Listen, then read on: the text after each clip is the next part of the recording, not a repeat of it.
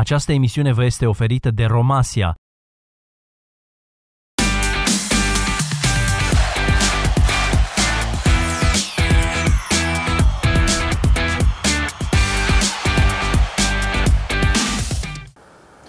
Bună seara, dragi telespectatori, bine v-am găsit din nou la Glasul Tribunei, o ediție care va fi dedicată echipei UTA, bineînțeles, pentru că suntem la finalul unui retur de campionat, suntem de fapt, de fapt, suntem de fapt la finalul sezonului regular, cu câteva zile înainte de începutul play-out-ului, un play-out care regăsește echipa noastră, din păcate, pe aceeași poziție în care s-a aflat pe tot parcursul acestui retur. Este vorba de locul 15, direct retrogradabil, loc de pe care poate că am fi reușit să evadăm, dar iată că vineri am, am avut parte de un nou meci în care a fost aproape, am fost acolo, echipa ne-a dat speranțe, dar din păcate până la urmă meciul s-a încheiat cu același rezultat cu care ne-a obișnuit de prea multe ori în ultima vreme, adică înfrângere. În seara asta, bineînțeles că o să vorbim despre mai mult, mai puțin despre meciul de la Craiova, care deja a trecut, o să vorbim mai mult despre întreg acest, întreaga această a doua parte a sezonului care s-a încheiat vineri. Este vorba de finalul, este vorba de returul de campionat, cât și despre ceea ce ne așteaptă în, în play-out și o să vorbim în primul rând despre aceste lucruri cu omul care e cel mai în măsură să ne ofere explicațiile pentru care UTA se află încă în situația în care se află dar și cel care ne poate spune pe ce ne putem baza în speranțele noastre că vom reuși până la urmă să evităm acest, această, acest spectru al retrogradării care, retrogradării care ne bântuie încă din toamnă. Și este vorba de antrenorul Laslo Balint pe care nu-l, nu-l putem avea, din păcate, uh, fizic aici în studio în platou pentru că uh, cam la această oră se încheie antrenamentul echipei UTA, astfel că nu mai putea ajunge, dar începând cu aproximativ cu ora 25 o să-l avem prin telefon și o să facem această discuție telefonică. Dar cum analiza unui, um, unui asemenea interval de timp destul de mare în jurul din viața unei echipe, uh, nu e bine să fie făcută doar cu o singură parte, am zis că este important să vedem ce punct de vedere au vis-a-vis de ceea ce s-a întâmplat cu UTA în această perioadă de timp.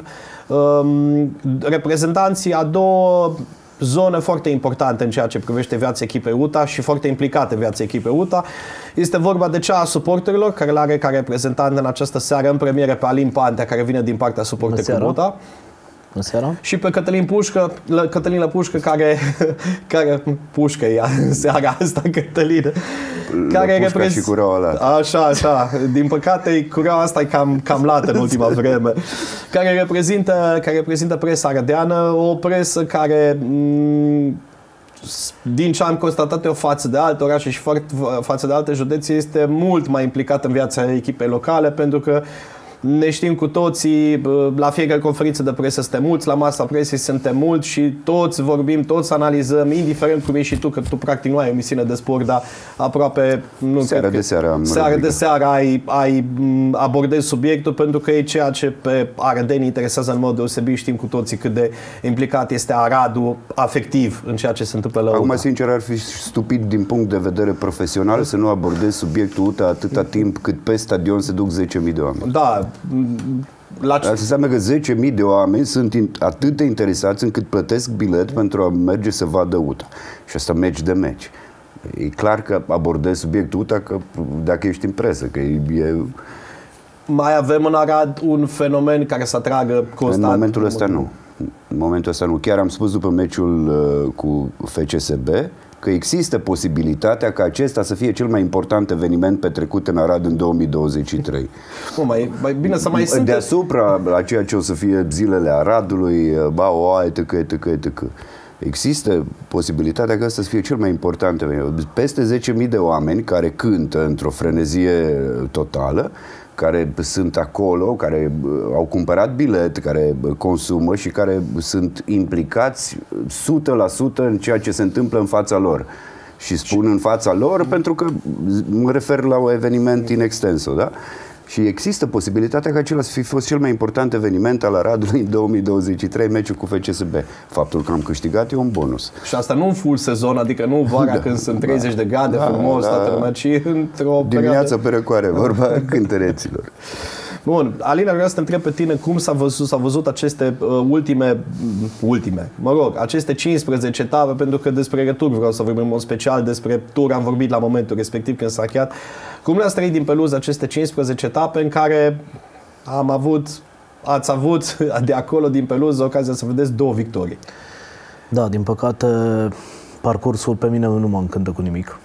Scurci la subiect. Uh, două victorii din care una obținută în fața Botoșanului pentru că, din păcate, au avut, am avut, spre norocul nostru, marcarea primelor două șuturi pe poartă, primele două goluri. Noi de obicei tragem tot pe lângă sau dacă dăm pe poartă, dăm în portar că îl iubim pe acest uh, adversar. De obicei, noi suntem cei care luăm Da, gol la primul da. șut de poartă. Uh, cu Stea, cu FCSB, uh, a fost un meci uh, în care eu zic că prima repriză am fost în joc, a doua am jucat foarte bine și ne-a ieșit iarăși primele trei faze care am reușit să executăm și pe ei și s-au cam liniștit și ei la fazele astea. Problema noastră e în schimb însă cu echipele mici. Avem o mare problemă echipele mici, între ghilimele, pentru că nu, e un, nu consider că e o echipă de Liga 1, e o echipă mică. Dar uh, noi avem o Echipele mare... care nu sunt implicate în lupta pentru play Exact. Hai să le spunem așa. Deci noi nu batem pe nimeni de acolo. Deci nu batem. Deci asta e adevărul. Uh, sunt de... În, sunt trei ani de Liga 1, noi pierdem cu Târgoviște, nu-i batem niciodată. Cu FC Arge, ce să mai spunem, Chiar nu i-am bătut niciodată. niciodată. Nici nu i-am bătut nici în anul promovării. Cred că nici uh, cred că am făcut egal în play-off și cred că nu i-am bătut nici pe- în campionatul Da. regulat. Deci noi avem o problemă. Uh, Mioveniu, iară, am bătut... Doar i-am- în cupă. în cupă. Deci nu batem. Deci noi avem o mare problemă. Singura echipă pe care o batem și suntem fericiții câștigători, batem Botoșani. Botoșani. Restul, Clienții noștri. deci sunt singura echipă care e client. Restul, pe restul e, ne execută toți. De- Și pentru mine este straniu. Pentru că avem uh, meci de meci, cum zicea și Cătălin, 10.000 de oameni care scântă. Ok, nu sunt 10.000, 7.000, 8.000, dar scântă. Îți cântă. Deci eu dacă aș fi jucător să am o peluză, una dintre cele mai frumoase, dacă nu cea mai frumoasă peluză din România, plus o tribună întâi, o tribună a doua care îți cântă. Nu poți să spui că vin la meci și se uită ca la teatru. Cântăm. Sunt oameni care cântă meci de meci. Și noi nu vezi nimic la ei. Deci nu văd un pic de ambiție, nu văd nimic.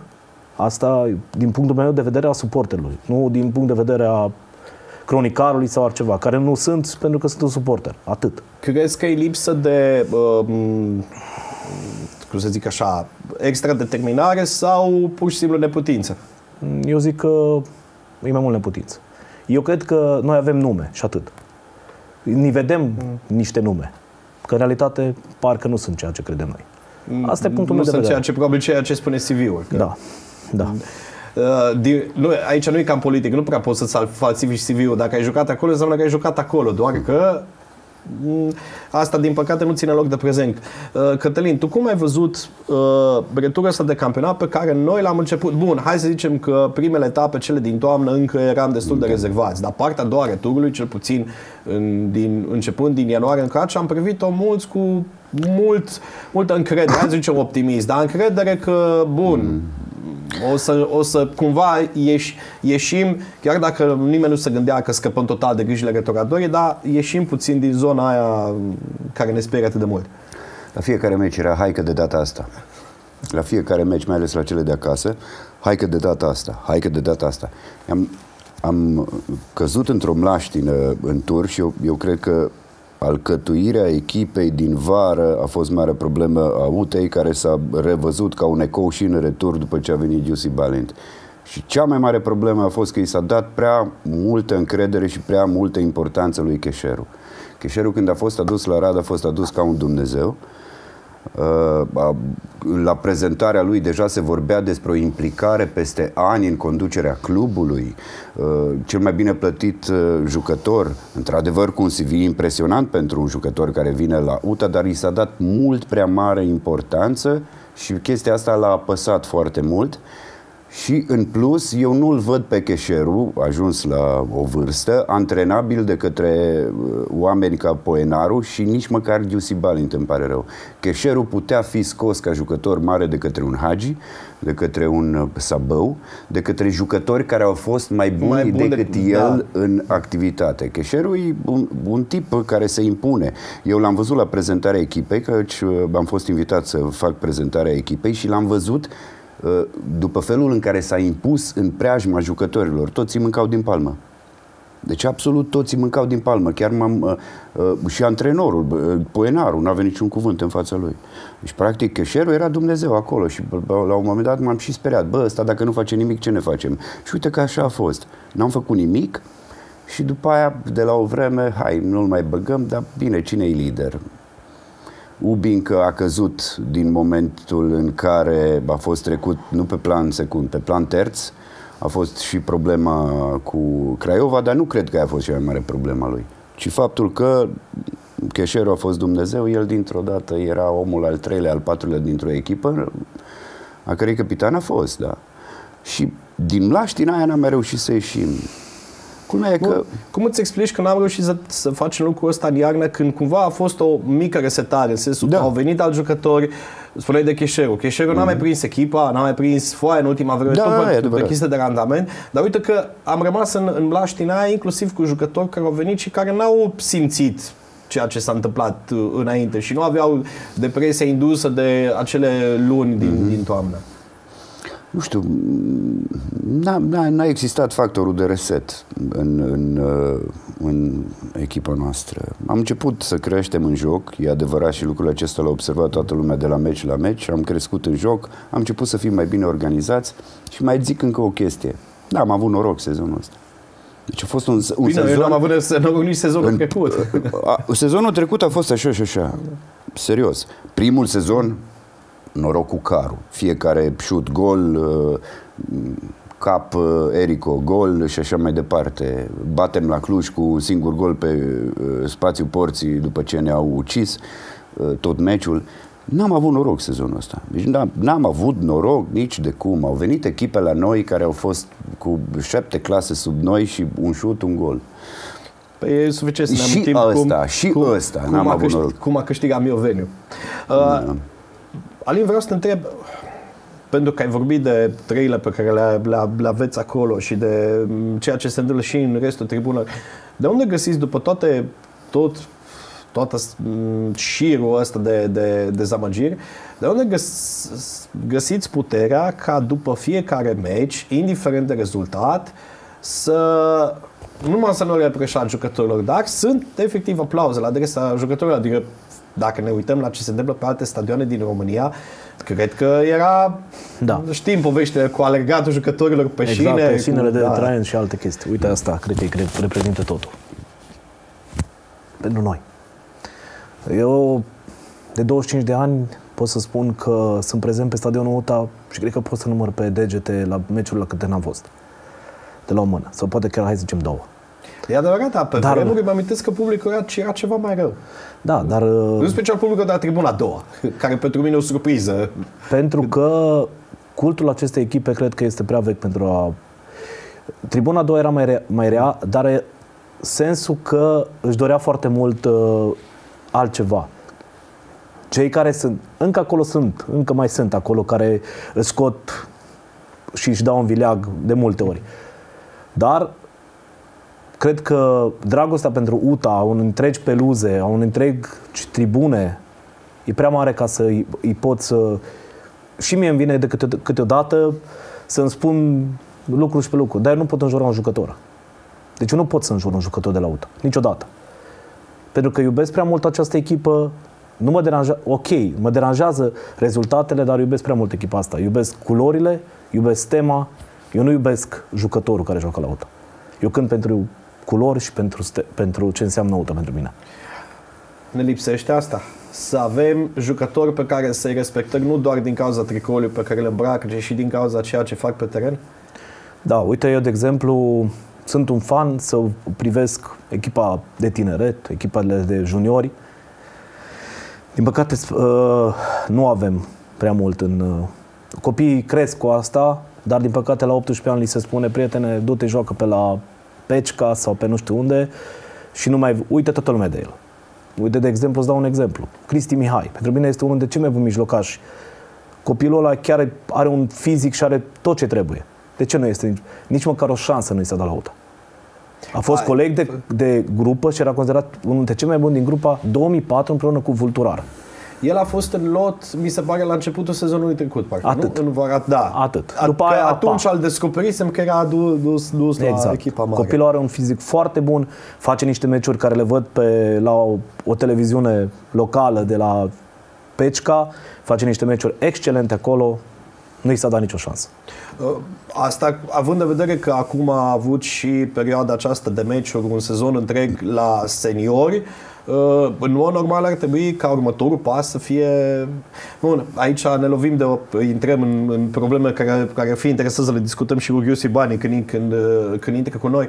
Uh, uite, noi avem jucători care, ca să-i rodăm, în meciuri de seniori trebuie să-i trimitem împrumut cel puțin jumătate de an, pentru că nu pot să jonglez cu ei, în alte părți. Avem o grămadă de jucători împrumutați. Uh, acum vorbim ipotetic. Cătălin, crezi că dacă am fi avut echipa a doua înscrisă într-un campionat de senior, Liga 3, să zicem, unde să fie Rodați rotiți tot acești juniorii. jucători, crezi că ar fi de acolo, ar fi, ar fi um, să zicem, staff ar fi avut mai mult curaj să apeleze la jucători tineri în criza de rezultate în care eram, dacă ar fi avut posibilitatea să ia un jucător ca și Cristi Mihai, ca și Hrezda, care și el și-a revenit, re- revenit și joacă. Mai, am avut și situații în care n-am avut destui oameni Trebuia să să pună pe fie un foaie. uh, antrenor cu ceva mai mare doză de nebunie decât uh, are uh, Giussi Balin, pentru că Giussi e un tip cerebral și Giussi uh, îi spun mulți fricos, hai să spun rezervat, știi, cerebral care se gândește că cu experiență trece, trece malul. Ne aducem aminte de primul sezon în care apărarea era una din cele mai bune din uh, ligă și pe asta și-a clădit el uh, rezultatele. Uite că apărarea a început să-și capete în al doilea sezon și e slabă în al treilea. Culmea că în ultima perioadă jucăm cu același cuplu de fundași centrali ca în primul sezon. Bun, o să luăm noi o pauză cu discuțiile pentru că îl avem pe Laslo Bali la telefon. Bună seara! Bună seara, vă salut cu respect. Bun, uh, domnule Balit, la, uh, suntem, suntem trei aici în studio. Uh, În afară de mine mai este Alin Pantea din partea Suporte Clubuta și jurnalistul Cătălin Lăpușcă.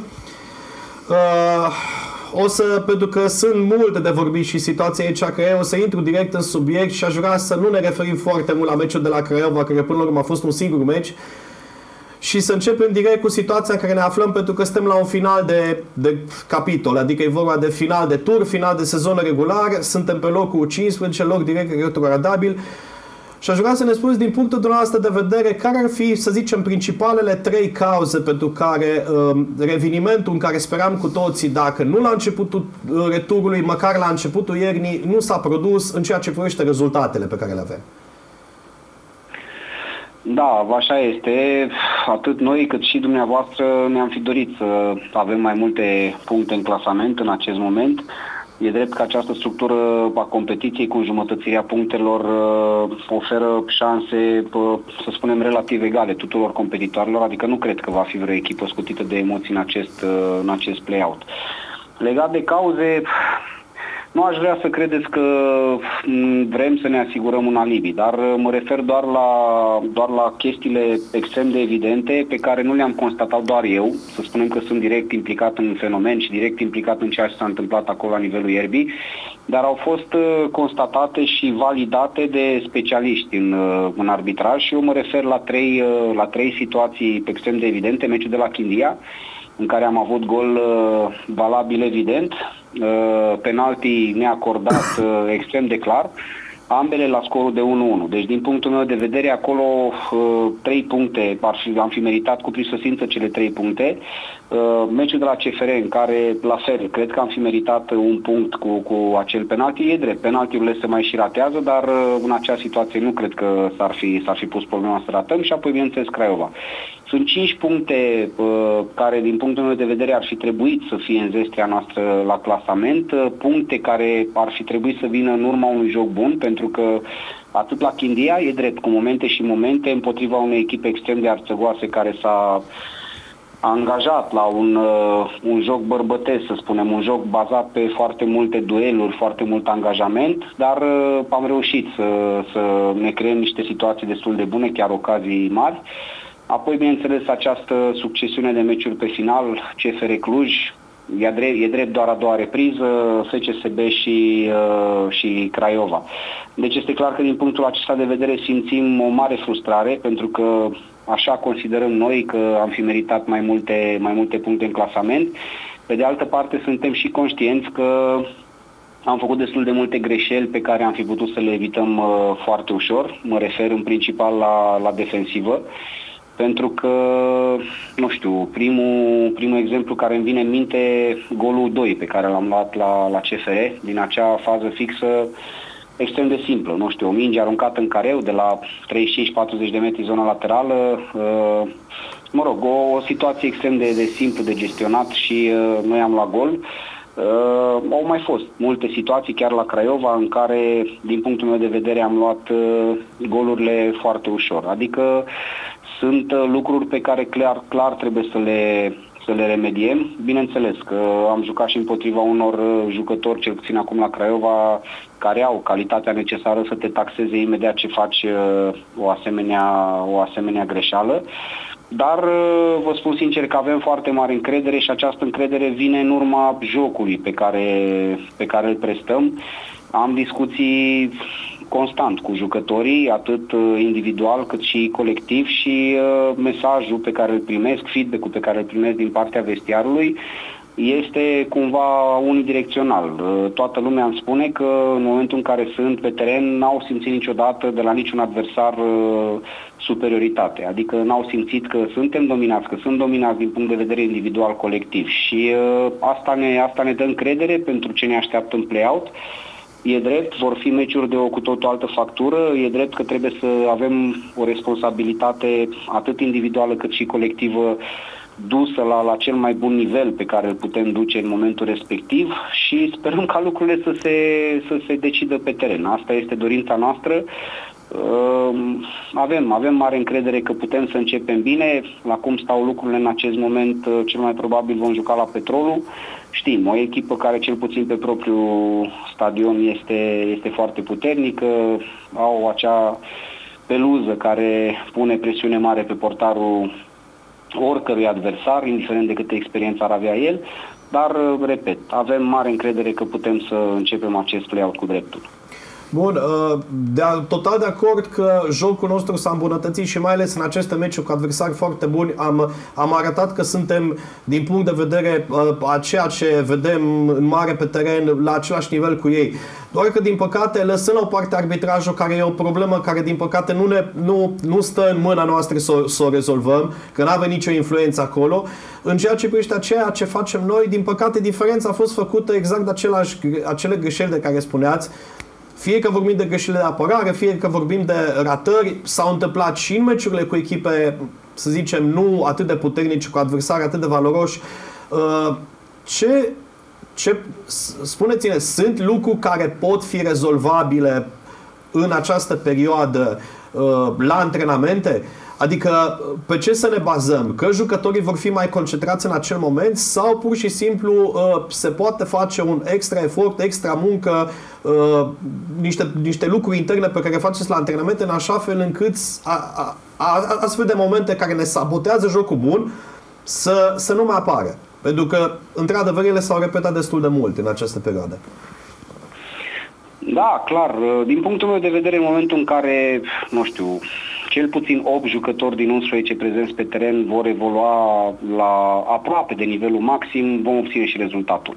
Pentru că asta s-a demonstrat, cred eu, cel mai evident și probabil e, nu știu, așa, meciul pe care trebuie să-l avem ca reper la meciul cu FCSB când, cel puțin în a doua repriză, foarte mulți jucători și-au ridicat nivelul de joc, am reușit să bifăm acea eficiență de care tot vorbim, atât în apărare cât și în atac, pentru că au fost niște momente psihologice și vedeți dumneavoastră că în general uh, fotbalul ca și viața este făcut din momente, momente psihologice care pot uh, înclina balanța într-o parte sau în alta. Mă gândesc doar la, la acea ocazie a lui Miculescu din, uh, din finalul primei reprize cu FCSB, când probabil că dacă s-ar fi marcat din acea ocazie ne-ar fi fost extrem de greu să, să revenim pe tabelă.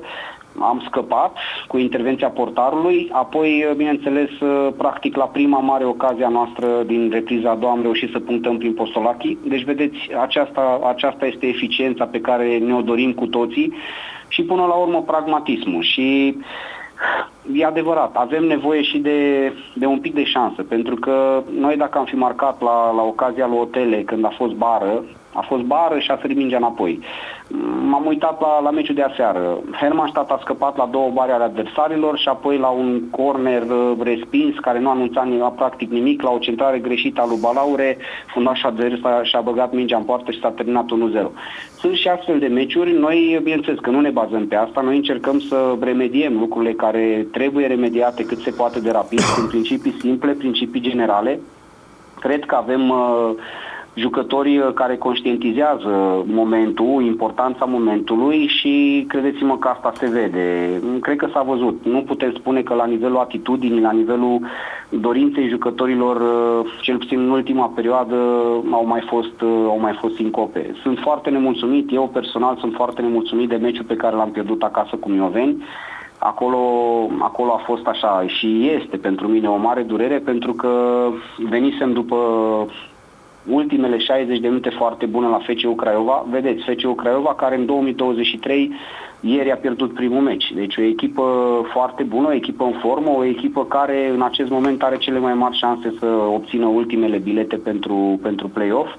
Noi am reușit să începem foarte bine acest sezon de, de primăvară cu un rezultat, zic eu, bun la Craiova și apoi, uh, din păcate, la meciul cu Mioveni ne-am asumat, pentru că chiar dacă am stat zilnic de vorbă cu băieții și am încercat să îi fac să conștientizeze cât de importante sunt cele trei puncte, se pare că nu am reușit și acela a fost un meci care, cred eu că, din punct de vedere moral, ca încredere, ne-a tras destul de mult în jos.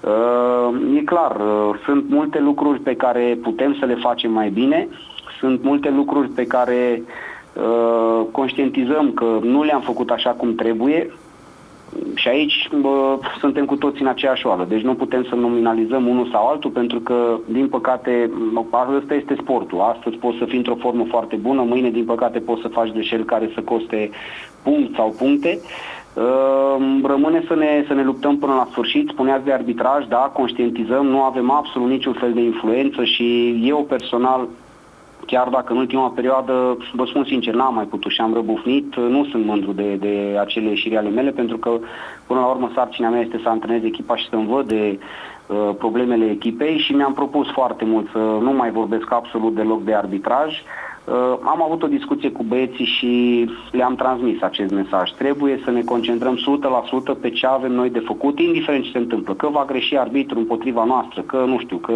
absolut orice fel de obstacol, orice impediment ne iese în cale, noi trebuie să fim suficient de puternici ca să putem să, să le depășim. Apropo de obstacole, uh, ultimele meciuri noi am avut o evoluție foarte bună, dar și în fața unor echipe care Uh, cei drept foarte puternice și care ne-au pus mari probleme în defensivă, dar care au și jucat un fotbal generos, deschis, care a convenit și jucătorilor noștri creativi și jucătorilor noștri de atac. Uh, din păcate, nu știu, din păcate sau din fericire, vă vedem ce va fi în play-off, în play-out ne vor aștepta cu tot meciul de cu tot o altă factură. Vom avea în față, cel mai probabil, în special pe teren propriu, echipe care se vor betona în apărare, echipe care nu ne vor lăsa spații, echipe care vor fi agresive, de același nivel de agresivitate activitate ca și noi, poate și mai și.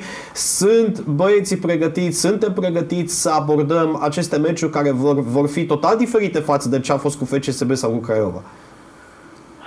Da, categoric. Uh, primul, primul aspect pe care am încercat să îl îmbunătățim uh, cumva special pentru această perspectivă a play-out-ului a fost uh, momentul fazelor fixe, pentru că zic eu că am suferit în ultima perioadă, chiar la CFR am avut 10 cornere și n-am reușit să, să fim periculoși și iată că la Craiova, în ultima etapă, am reușit să marcăm și am reușit să mai avem alte două ocazii, acea bară al, al Otele și chiar faza penaltiului din prelungiri, tot în urma unei faze fixe a venit. Am lucrat destul de mult și ne propunem să lucrăm în continuare atât pe defensivă cât și pe ofensivă, pentru că sunt convins că în play-out momentele statice vor fi foarte importante, dacă nu chiar decisive în anumite meciuri și atunci trebuie să le stăpânim foarte bine, trebuie să știm foarte bine ce avem de făcut și cel puțin la nivelul uh, fazelor fixe în atac trebuie să avem acea hotărâre, acea determinare, bineînțeles în urma unei uh, execuții de calitate și s-a demonstrat, cel puțin la Craiova s-a demonstrat că avem jucători capabili să livreze centrele de calitate din uh, scornere, lovituri libere, mă rog, și bineînțeles să, să fim, v-am spus, suficient de agresivi, de hotărâți, de determinați să, să câștigăm duelurile la careu și să reușim să marcăm uh, în urma unor astfel de momente. Ne propunem și să îmbunătățim uh, uh, atacul pozițional, chiar dacă nu este ușor, să știți, pentru că, iată, o să mergem la, o să mergem la petrolul. Cred că ați văzut și astăzi uh, meciul Chindia cu voluntari. Eu chiar acum, de, de 5 minute, am intrat în casă, m-am grăbit ca să prind meciul uh, Clujului uh, și am văzut o suprafață la, la Ploiești uh, hai să spunem, precar. Adică nici acolo gazonul nu este de o, de o calitate strălucită. Din păcate, nici la noi, la Arad, uh, nu putem spune că beneficiem de, de un gazon de o calitate foarte bună. Mă refer în principal la acest aspect al atacului pozițional, unde, bineînțeles, dacă vrei să ai atac pozițional eficient, ai nevoie de uh, viteză, de rapiditate în execuție, ori uh, un gazon de slabă calitate îți pune piedici uh, din aceste puncte de vedere. Nu nu, găsim uh, scuze din acest punct de vedere. Important este să reușim să ne adaptăm, pentru că am demonstrat, nu știu, la meciul cu Botoșan, primul care îmi vine în minte, uh, o suprafață foarte dificilă, pe alocuri înghețată și am demonstrat că, repet, în momentul în care aproape toată echipa a fost la, la nivel maxim, la potențial maxim, o determinare fantastică, atât individuală cât și colectivă și am demonstrat că putem să, să decidem meciurile într-o manieră destul de clară. Domnule Balin, iertați, ă, apropo de faze fixe, de ce nu mai înscrie Erico? În primul sezon ă, în care l-ați antrenat la Arad a fost golgheterul echipei. Da, așa este. Ă, este o întrebare pe care ne-am pus-o și noi în interiorul staffului, dar, cum a spus și dumneavoastră, în primul sezon a fost un pericol constant la, la asemenea momente. Prima explicație este că automat uh, adversarii și-au măsuri suplimentare în momentul în care sunt momente statice și Erico este, este în care. Am văzut și la, și la Craiova a avut marcaj constant, a fost de fiecare dată a fost câte un jucător acolo să, să-i blocheze lanul, pentru că Erico este genul de jucător care este foarte bun pe acest atac al mingii din elan, cum ar veni. Uh, Uh, și uh, tocmai de aceea am exersat acea apariție surpriza lui Idris Bata cumva de pe, de pe linia de 16 metri. Mă bucur tare mult că mi-a ieșit pentru că dacă vă aduceți aminte am avut o ocazie foarte mare pe cumva pe aceeași uh, structură de, de execuție și de dinamică la careu la meciul cu Hermannstadt. Dacă vă aduceți aminte când uh, tot așa în corner executa foarte bine a apărut Idris undeva la 10-11 metri, din păcate finalizarea nu a fost, uh, nu a fost foarte bună și a ratat uh, uh, acea lovitură cu capul. Deci suntem pregătiți, încercăm fel și fel de, de mișcări la care uh, v-am spus, uh, e important că avem și executanți, acum cu Roger ați văzut ce centrare extraordinară a dat la, la golul lui Idris, Paul Anton la fel, atât la cornerul executat la ocazia lui Otele, cât și la cornerul cu penaltiul la Pășcălău, două execuții de, de mare calitate și încercăm, bineînțeles, încercăm fel și fel de mișcări, fel și fel de uh, soluții care să, să ne pună în situație de finalizare. Iertați, ca, ca o continuare, UTA n-a mai dat gol din afara careului de un an și jumătate. Care, care e explicația? Păi ne dorim și noi să, să găsim o explicație. Din păcate uh, nu avem niciun Haaland, nu avem niciun Jack Grealish. E important să ai și calitate pe astfel de, pe astfel de execuții. Uh, noi sperăm, avem și Paul Anton uh, este capabil de, de execuții uh, și Idris Bata, chiar ați văzut că și Ubing, deci jucătorii din acest punct de vedere nu pot fi, nu știu, condamnați că nu încearcă, nu încearcă. execuțiile. Dar Ați văzut, eu repet, nu vreau să înțelegeți că îmi găsesc o scuză din acest lucru, dar în momentul în care gazonul nu te ajută foarte mult și ai nevoie de o atingere suplimentară tot timpul ca, să, ca să-ți pregătești șutul, de cele mai multe ori ori ești blocat, ori uh, pierzi acel timing pentru, pentru șut. Repet, nu vreau să, să găsesc scuze, nu vreau să Uh, nu știu, să, să ne ascundem în spatele unor alibiuri. Doar vreau să vă spun ce, ce mi-a transmis Gică Hagi după meciul pe care l-am jucat cu, cu Faru. Mi-a spus, uh, am încredere maxim în, uh, în mine, el e 100% convins că o să reușim să ne atingem obiectivul pentru că uh, a văzut că avem o echipă care se preocupă să joace fotbal. Dar uh, mi-a transmis așa cumva cu subiect și predicat că uh, trebuie să facem ceva cu terenul pentru că ne trage foarte mult în jos. Cu terenul mă refer la gazon. Deci uh, și Gică Hagi a punctat acest lucru și nu numai el. Până la urmă cred că ați văzut că fiecare antrenor care a venit aici în uh, calitate de uh, oaspete a cumva atras un semnal de alarmă. Eu mă bucur că factorii responsabili au înțeles și că, nu știu, din uh, informațiile mele până la urmă se are în vedere înlocuirea gazonului în această vară. Alin, dacă ai și tu o întrebare? Bună seara, domnul Balint. Uh, am o singură întrebare. La toate conferințele de presă ale dumneavoastră aveți un cuvânt care repetați non-stop. Bărbăție. Toți suporterii utiști dorim să știm ce înseamnă, ce semnifică pe dumneavoastră acest cuvânt bărbăție. Pentru că noi, eu îl consider o chestie, poate dumneavoastră l aveți alt înțeles pentru el. Da, bună seara, în primul rând. Bă, din punctul meu de vedere, un bărbat trebuie să fie, în primul rând, puternic. Pentru că noi suntem într-o situație și eu, când am venit aici în noiembrie, bă, practic era singura noastră opțiune, să fim puternici. Eu eram bă, 100% conștient de dificultatea misiunii și a provocării pe care o aveam în față, din punct de vedere profesional și nu numai, Uh, am știut uh, exact ce fel de, de momente mă așteaptă. Acum, din nou, nu vreau să mă înțelegeți greșit, eu mi le-am asumat, dar nu este ușor pentru nimeni. Din interior, uh, toată lumea uh, resimte această presiune și această responsabilitate și, credeți-mă, în anumite situații, uh, cel mai simplu este să cedezi. Din punctul meu de vedere, un bărbat adevărat nu cedează. Eu, în momentul în care am plecat, în ianuarie 2022, am plecat după două zile în care am vorbit constant cu, cu domnul Mesar și uh, am ajuns cumva la, la concluzia, bineînțeles, eu, pentru că domnul Mesar a insistat să, să nu plec, dar am ajuns cumva la concluzia că acel moment, chiar dacă echipa a jucat foarte bine și era extrem de lăudată în acel moment prin toate studiourile TV, am ajuns la concluzia că este mai bine pentru echipă să, uh, să plec. Dar să știți că acest uh, act de, de a ceda, de a pleca în momentele dificile, nu-mi stă în caracter.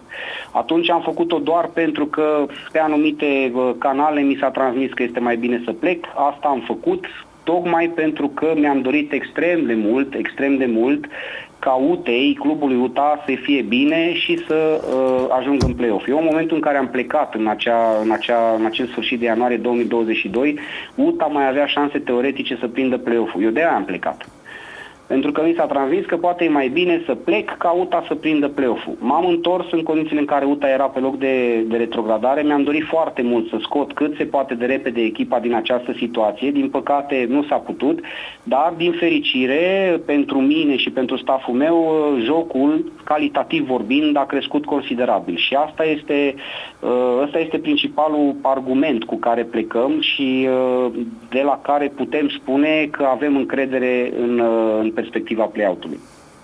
Bun, o, revine mie sarcina să pun ultima întrebare și o să o fac total fără plăcere, pentru că e o întrebare pe care n-aș fi dorit să o pun, dar pe care nu am, mă, mă obligă situația în care suntem și experiența pe care o avem noi uh, din deceniile trecute când am mai trecut prin astfel de situații. Uh, știu că sunteți optimiști și noi suntem și știu că sunteți încrezători, dar Vreau să vă întreb dacă, având în vedere situația în care se află echipa, locul din clasament, perspectivele pe care, pe care le avem și noi ca și toate celelalte echipe, nimeni, nimeni nu-i salvat. Ați discutat cu conducerea clubului o situație de gen plan B? Ce se întâmplă dacă nu reușim în vară? Nu. Și vă spun și de ce. Și o spun cumva cu hotărâre și cu determinare în glas, pentru că în momentul în care o să lăsăm să ne apară în mintea noastră, în creierul nostru, acel, acel gram de îndoială, de, de neîncredere, din punctul meu de vedere, deja am pășit pe drum greșit. Trebuie să transmitem un mesaj de, de curaj, de încredere în posibilitățile noastre, de unitate. Asta facem zilnic cu băieții, atât, uh, nu știu, atât la stadion, în perioada pe care o petrecem, atât înainte de antrenament, cât și după antrenament, în timpul antrenamentelor. Le transmitem să, să credem în tot ceea ce putem să facem, pentru că se demonstrează că progresăm, poate nu spectaculos cum se așteaptă mulți, dar uh, eu cred că am progresat destul de mult în condițiile în care, iată, am jucat acum cu patru echipe care se bat acolo la play-off. Am jucat în decembrie cu Rapid. Nu că le-am ținut piept, de multe ori le-am, uh, le-am dominat. Și asta, pentru mine ca antrenor, demonstrează că noi, staful, lucrăm corect, lucrăm ceea ce trebuie. Bineînțeles, avem nevoie de eficiență, avem nevoie de uh, pragmatism, avem nevoie de responsabilitate în momentele cheie ale meciurilor, dar uh, toate lucrurile sunt convins că în momentul în care credem cu adevărat în ele, uh, vor și veni. Nu putem să pășim pe teren cu acel, v-am spus, nici măcar un gram de îndoială că lucrurile nu nu, nu le vom face în așa fel încât să ne atingem obiectivul. Eu cred, și acum nu știu, puteți să mă, puteți să mă contraziceți, dar eu cred că în momentul în care avem un gram de îndoială în minte și în suflet, putem deja să, să aruncăm prosopul. Asta este convingerea mea și cumva de aia n-am vrut să discutăm absolut niciun moment de vreun plan B în cazul în care lucrurile nu vor ieși așa cum trebuie, pentru că cred cu toată tăria, cu toată ființa mea, cred că ne vom atinge obiectivul. Bun, mulțumim, să sperăm că într-adevăr nu va fi nevoie să ne gândim nici, nici în vară la un plan B și că toți noi se vor risipi după aceste noi etape. Uh, dacă se poate cât mai repede posibil, nu chiar după ultima etapă, dar și dacă va fi după ultima, tot bine, tot bine va fi numai să, să reușim să ieșim la liman. Mult succes în pregătirea meciului cu petrolul, rămâne de văzut. Uh, și să ne auzim, să ne auzim în, în momente mai bune și mai fericite. Mult succes și spor la muncă și băieților și dumneavoastră și staffului. Mulțumesc frumos, seară plăcută în continuare și emisiune plăcută. La revedere. La revedere. Bun, nu mai avem foarte, foarte multe minute, dar... Așa uh, repede a trecut. Da, trecut repede că situația în care suntem necesită multe discuții. Uh, întrebare din experiența pe care o aveți voi urmărind fotbalul, fotbalul românesc, UTA și alte campionate. Mm. O echipă aflată în nisipurile mișcătoare este salvată de joc sau de eficiență și pragmatism? Părerea mea? Părerea mea personală este că dacă nu, nu marci, poți să ai cel mai bun joc din uh, Liga 1. Mm, da. Deci, pragmatismul e mai important decât la, mai ales în momentul ăsta. Dacă există în vestiar, după cum ne spune antrenorul, acea încredere că putem să putem să ne salvăm, eu cred că, și vorbeam ceva mai înainte, o anumită doză de noroc ne-ar scoate. Pentru că altfel stăm bine. Dar uite, deviere încoace, bară dincolo. Și asta se întâmplă deja de vreo 5-6 meciuri. Tot stau și mă tot stau și mă domnule, dar, dar nu, nu mai primim și noi e uh, o deviere și o bară din E adevărat, le-am primit, știi că le-am primit. Când am jucat bine și când am făcut prima dată noi ce trebuia să facem, meciul cu FCSB. Pentru că, într-adevăr, a fost bară și de minge a căzut afară cu Craiova.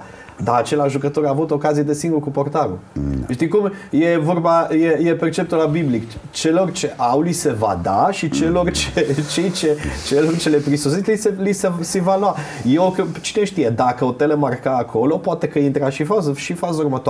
În meciul cu FCSB, când noi am fost impecabili noi, toate un meci pentru toate ne-au ieșit. Uite un exemplu. Da, toate ne-au ieșit. Eu stau în peluză, da? În fie, înaintea fiecărui meci se șutează la poartă pase de către domnul uh, Secunzi către jucători. Uh, toate mingele sunt aproape spaimă pentru noi din, din peluză. Rândem, glumim, Sunt ăsta e convins adevărul. că nu doar Păi în de ce timpul crezi că l-am meciului. întrebat? Că, Păi, că n-am, mai, știu, n-am mai dat de un an știu. jumate un gol din afara Deci, careului. n- este inadmisibil, ok, nu în meci nu găsești poarta, dar tu nu o găsești nici măcar la... Nu, la noi sunt două feluri de șuturi. Un, unele care spase la portar și unele care spui tu. Din păcate, asta e o problemă și, sincer să cred eu, că, având în vedere că e o problemă de un an și ceva, nu știu dacă ea va putea fi rezolvată acum, mai repede mă bazez, singurul lucru pe, pe care mă, mă bazez din ce a spus Laslo Balit, lăsând la o parte uh, să nu ne gândim la arbitraj, lăsând la o parte terenul care nu putem rezolva, lăsând la o parte norocul, eficiența, responsabilitatea, care sunt niște chestii destul de abstracte, sunt lucruri care mă bazez și într-adevăr cred că acolo s-ar putea să fie cheia, vreau să mă contraziceți dacă nu sunteți uh, de acord cu mine, va fi, vor fi fazele fixe. Acolo eu cred că e un element la care o echipă aflată la retrogradare se poate salva. Mai ales în meciurile care ne așteaptă. Ce gen de meciuri ne așteaptă? În faze fixe, adică cornere, pentru Cor- că altfel cornere, da, lovituri da. libere la, uh, Nu, ma- ma- cornere, clar. în afara careului, Numai că aceeași la problemă, porumbei. problema aceasta că fazele fixe te pot alea și îngropa, pentru că să nu uităm că joci cu un voluntar Evident, dacă- care are jucători, mai ales pe arma și pe nu știu care, care au 2 metri Mm. Botoșanu are jucători înalți. Până la urmă, până la urmă nici nu e chestia atâta de, de cât de înalte jucători, ci de cum faci marcaj, de, Da. ce, de ce, pentru că la CFR Cluj n-a, f- n-a f- fost pur și simplu a venit un jucător liber. Da, evident că asta e revers o medalie, dar eu zic că, ac- și mă bazez pe asta pentru că la Craiova, într-adevăr, estetic am jucat bine, dar eu am constatat un lucru, noi am produs pericol uh, dintr-o, dintr-un cadou, ocazia lui Otel a fost Da. cadou ca aluneca. Și din trei faze fixe, foarte periculoase toate trei. Puteau să iasă liniștit goluri la toate trei. Deci puteam să avem trei, trei goluri, mai că am avut, Da. avut doar unul. Deci e, ăla e un lucru care cred că merge, da. Eu aș vrea să-mi explic Mer, put- mergi. Ar mai fi ok. Bani. Avem majoritatea jucătorilor din uh, echipă care, în cazul în care retrogradăm, uh, pleacă, mulți dintre ei oricum pleacă. Da? Uh, Nu știu în ce măsură ne spune domnul Balint că în vestiar e atmosferă și că toți băieții vor să ne scoată la limane, tăcă, tăcă. Dacă ne-ar spune că nu e așa, ar fi chiar grav. Evident. Știu că e scandalos să vorbim de primă de salvare la, de la retrogradare atâta timp cât în debutul sezonului cu niște salarii în prima parte a salariilor din prima ligă, da. Uh, N-am reușit să ajungem decât, iată, pe penultimul loc, dar cred că e momentul să umble și la pușculiță. Fraților, ne scoatem? Atât. A, nu, nu știu ce să mai zic. Bine, A, altceva. acum deschidem o cutie a Pandorei. Păi pentru este, că, e scandalos. Pentru că cutia Pandorei înseamnă că la Arad este un uh, miserupiz din tot, Da, și toate izvor- punctele de, izvor de, de de, secare. deja este, că la noi oricum este răsplătită Deci hai să... contraperformanța. Da, Doar acum, aici sunt nu, chestii că nu deschidem o cutie a Pandorei. că- Aici sunt lucruri care cred că trebuiau gestionate altfel din start, la modul cum s-au făcut obiectivele, primele, contractele, pentru că acum e târ- târziu să mai reparăm. Ați văzut cum La se noi în întâmplă vestiar Hagi? este- să nu uităm că la noi Hagi, în- salariile sunt sub noi. La noi în de vestiar este o obiectiv sunt vorbă. mari. Să nu uităm, no money, no, no play. Da, problema e că la noi acum este uh, there are money, but no, still no play. Știi? Da. Uh, Otele pleacă. Mai Otele, dacă ne dai uh, 5 goluri în, uh, Ah. în play-out, uite, ai, Uh, do- sunt de acord ai cu- 20 de cu- mii de la, cu- cu- de, de la club. Cu primă de realizare. Ok, da. A- Am sincer, nu știu dacă a fost problema în fracțiunea de secundă, în momentul când ai execuția, te, te influențează lucrul ăsta sau nu. Ar fi bine să fie așa, ar fi simplu să fie, fie așa. Eu, zic aș că vrea tu- să-mi explic... Eu te contrazic o chestie. Eu nu cred că dacă UTA nu va retrograda, nu vor pleca trei sferturi de jucători. A, și eu cred același lucru. Păi și eu am zis la fel. Da. Nu, Eu am nu, zis nu, că- că nu vor pleca, eu așa. A, că rămân Da. trei sferturi? Da. Dacă nu retrogradăm? Având în vedere ce s-a întâmplat în ultimii ani, pentru nu că- care cred că... De, de rămas, ei rămân, că bă, nu pleacă bă, cățelul de la măcelărie. Păi aia spun e, că- clar că, e clar că rămân, numai cine îi mai ține, că despre asta e vorba. Uh, Iar rămâne. Da. Eu aș vrea să încheiem și aș vrea și să-mi explic întrebarea din final și să, să vă ridic puțin o minge la filo să văd ce părere aveți voi din punctul ăsta de vedere. Mai avem două sau trei minute. Deci am pus întrebarea. Întrebarea nu refer, am pus-o referitor la vestiar, pentru că e clar că acolo trebuie să fie încredere și, și da, total de acord. Dacă, dacă jucătorii încep să se gândească că există o șansă să nu rămână, suntem mâncați, cum se spune, pentru că fiecare deja e ca pe Titanic. Va fi fiecare pentru el să-și găsească colacul de salvare. Întreb de ce? Pentru că uh, o retrogradare ar fi uh, un lucru um, greu de digerat. Dar nu e cel mai rău lucru ce ne se poate întâmpla. Eu mă tem mult mai mult de o retrogradare, mă tem să nu ne prindă nepregătiți din punct de vedere organizator a clubului o retrogradare. Pentru că am văzut și la Casa mai mare ce poate să se întâmple cu un club care până în ultima clipă nu concepe că există exact. și posibilitatea asta, până la urmă e sport, nu e matematică. Se poate întâmpla, e, chiar să joci bine și să nu meriți și să se întâmplă. Uh, din Eu nu știu dacă există, uh, dacă există scăpare, dacă retrogradăm cel puțin jumătate din uh, primul sezon în Liga 2 are să fie dramatic, la fel cum s-a întâmplat cu Dinamo și cu ăștia ce au retrogradat Chiajna. Da, și nici chiar n-a prins, nici măcar n-a prins pe loc. Nici măcar. Și au avut un prim, prima jumătate de sezon cat- catastrofală. Cam așa ni se va întâmpla și nouă. Eu nu cred că reușim să digerăm și reușim să ne reorganizăm peste vară astfel încât să clădim un, o primă parte a sezonului de Liga a doua pentru a ne putea bate din nou la promovare încă de la retrogradare. Eu nu cred. Va fi, va fi un șoc major, evident o să plece foarte mulți, dar șocul va fi resimțit atât de tare încât ne vom putea reveni, cum spuneam, în a doua parte a sezonului. Vom vedea acum. Eu, eu sunt optimist, sincer. Mm. Chiar Trebuie dacă există fie. mari diferențe față de sezoanele precedente, când era clar că sunt două echipe retrogradate fără șanse de izbândă, uh, altele cu probleme financiare, de data aceasta, hmm, hmm, Alin, Inter... tu spuneai înainte de misiune că nu, nu cădem. Pe ce te bazezi? Pe încrederea că până la urmă copiii ăștia din teren, copii, între ghilimele, acești copiii bărbați, noștri, cum da. zice domnul, bărbăția lor, bărbații puternici vor da vor, în, astea nouă, în astea nouă meciuri vor arăta altceva. Vor arăta dorința aia să rămână. Pentru că, în primul rând, Aici e un miserupins care va putea continua și din vară pentru ei. Că ei sunt mulțumiți și cu play-out-ul orice am face noi fără o schimbare majoră în fruntea clubului, nu o să trecem la nivelul superior niciodată. Eu mă amintesc că la finalul anului trecut eram foarte supărat pe felul cum a fost tratat ultima etapă și de faptul că ne mulțumim cu puțin și că pentru da. noi n-a contat că suntem în locul 8 sau locul 10 sau locul 12, nici n-am să mai vorbim acum situația în care suntem de, de mulțumitul cu puțin, că Cătălin, da. opt, în două secunde, optimist, scăpăm? Scăpăm, scăpăm. Scăpăm. Bun, Doamne da. ajută. Ar mai fi o chestie.